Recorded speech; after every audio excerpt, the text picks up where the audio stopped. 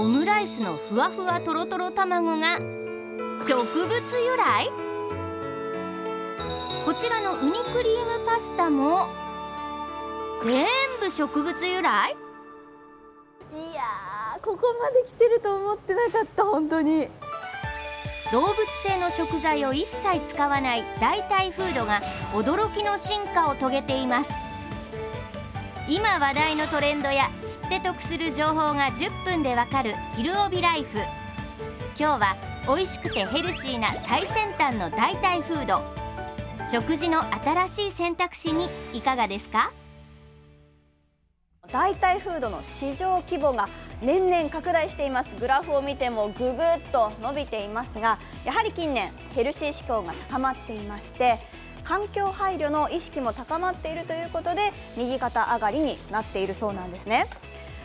そんな今新しい代替フードが続々登場しています。最先端の代替フードメニュー取材してきました。ご覧ください。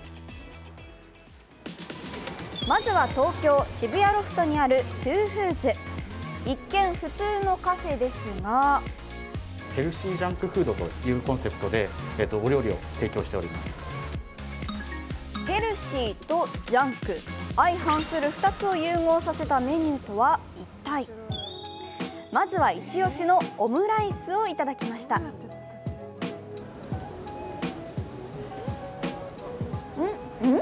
美味しい！とろっとろですぐ口の中からなくなって何よりこのソースが本当に濃厚で美味しいですね見た目も香りも普通のオムライス。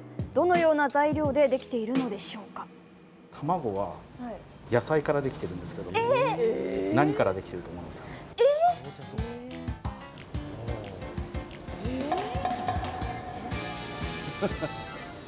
ー、わからないです。卵卵の味がするもんだって。実はこれ人参と白いんげん豆をベースに作られた卵になってます、えー、な色になるんだ。全然その人参っぽいとか野菜の臭みみたいなのはもう全くない。卵以外にもチキンライスのチキンは大豆ミートを使用。濃厚なデミグラスソースも野菜のバランスを調整してうまみを引き出し肉などを使わず作られています。これだけこう味がしっかりした美味しいものをプラントベースのヘルシーなもので食べられるっていうのは嬉しいですね。さらにこちらはプラントベースのレアチーズケーキ。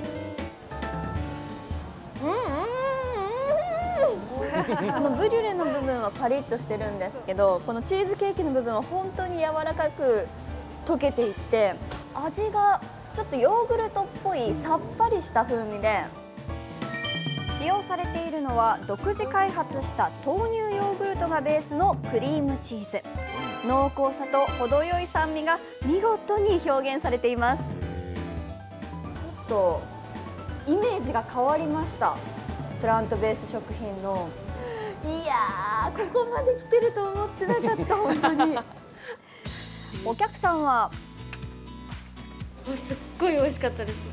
あの植物性のオムライスを食べたことがなくてビーガンでも卵に似たものを食べることができるんだって思ってびっくりしました。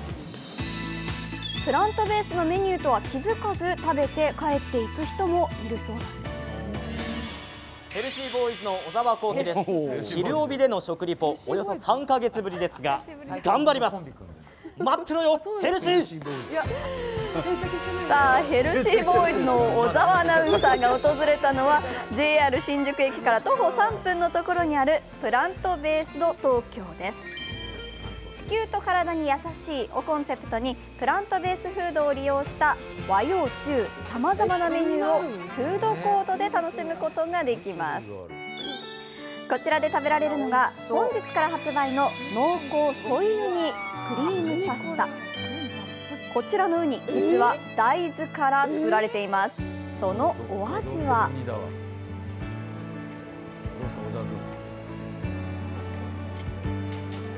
うんうんうんうん。すごい。すごい。ウニ独特の磯の香りがふわっとこうほのかに香るんですよ。ソイウニなのでこってりというよりは割とあっさりとしていてとっても食べやすいですちょっとあの美味しすぎて夢に出てきそうです。続いては主菜を2種類選べる人気メニュー4種の選べるプレート。今回はソイラザニアと麻婆ナスをチョイスしました。副菜はポテトサラダとケールサラダ。もちろんすべてプラントベースです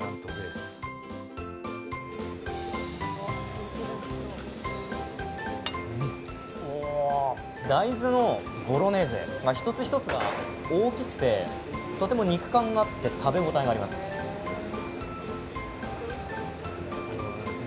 あ麻婆ナスですよ。ソイを使ってるとは思えない。大豆のひき肉の甘さとナスのシャキシャキ感。ピリッとしたところがこうよく絡んで本当に美味しい麻婆ナスになっています。副菜のポテトサラダは豆乳から作ったマヨネーズを使用しマイルドな味わいに。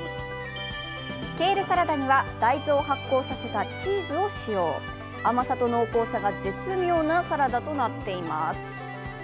いろいろなメニューをこうつまめるので全く飽きることがありません。そして盛りだくさんっていうかなりの量。これは男性にとっても大変嬉しいなと思うんですが今日は大満足です。ヘルシーで満たされました。ヘルシーボーイズも喜んでるじゃないですかそうですね。ちょっと兄は離脱したんですけれども、はい、小沢君しっかりリポートしてくれました。本当にこう言われないとわからないというところから言われてもわからないぐらいのレベルになってきています。非常に美味しい進化している、まあ、代替フードですね。さあこんな進化している代替フードについてお聞きしました。NPO 法人ベジプロジェクトジャパンのえー、川野さんによりますと日本の代替フード VTR にもありましたけれどもソイユニやエバーエッグなどクオリティがもう本当に高いんだと、ね、で欧米からもその技術力を評価されているということなんですね。どっからどう見ても卵にしか見えないもんね。いやもう言われて目をつぶって卵だけ食べてようやくうんちょっと違うかもぐらいのクオリティなんですね。そうなんですよねもう技術の結集ですよね。人参とでしょ、あんな綺麗な黄色が出んだよ。そうなんですよ。見た目も味も本物そっくりということなんですが、そもそも日本でこの代替フードが広がったきっかけの一つというのは。東京オリンピックだったんですね。欧米ではベジタリアンの方が多いということで多様な外国人の方をもてなそうと2018年の末頃から企業の商品開発が活発化しました。結果的にはコロナ禍で外国人の来日は激減しましたけれども国内で若者を中心に持続可能な食事への関心が高まりましたで需要が続いているということで新商品も続々登場しているということなんです。先ほどお店で食べられるものをご紹介しましたが続いてはお家でも食べられるものをご紹介します。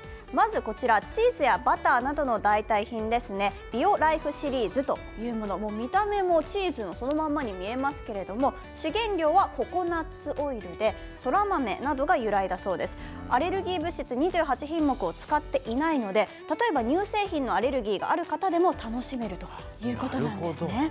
こちらは白くさんに食べていただきました。いただきます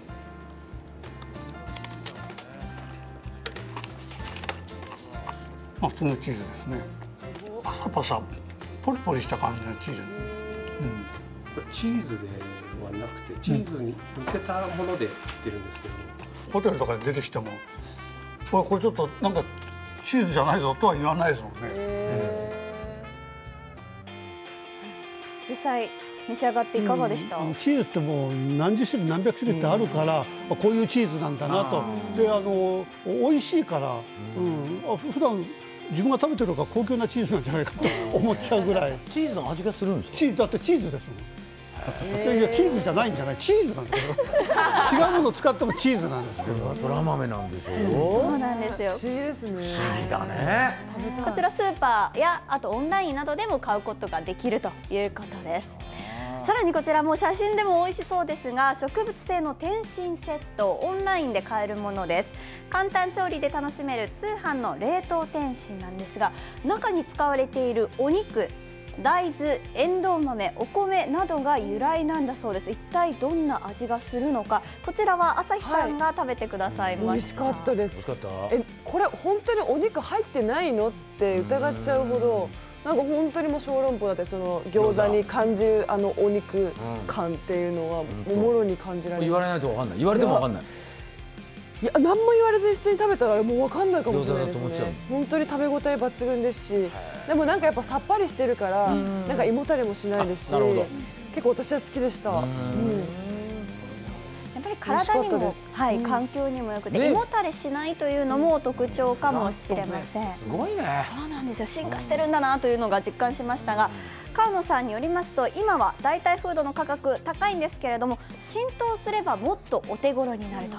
まずは選択肢の一つとして食事に取り入れてもらいたいとおっしゃっていました。ね八代さん食物繊維が豊富に取れるんじゃないですか？そうですねあのベジタリアンの方やビーガンの方日本でも増えてますしハラル認証を受けていただければこれからインバウンドであの東南アジアインドネシアなんかのあのイスラム教の方々日本に来て食べるもの少ないっていうのが結構悩みで。